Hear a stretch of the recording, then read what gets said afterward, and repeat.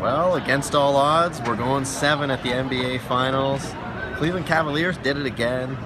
LeBron James really did it again. 41 points for the second game in a row. And the Cavs beat the Warriors, who, you know, briefly flirted with a comeback and then it just all fell apart. Stephen Curry threw his mouthpiece at a fan, uh, got ejected. Well, it was a six foul anyway. Steve Kerr was furious afterwards. And now, who knows? You know, with the way LeBron James is playing, he's rarely played any better. He's back in that mode where he's even hitting jump shots, which obviously gave the Spurs and the Thunder problems years ago. And you know, what looked like a Warriors coronation is suddenly on shaky ground. Draymond Green's return wasn't enough. Klay Thompson only really had one big uh, quarter.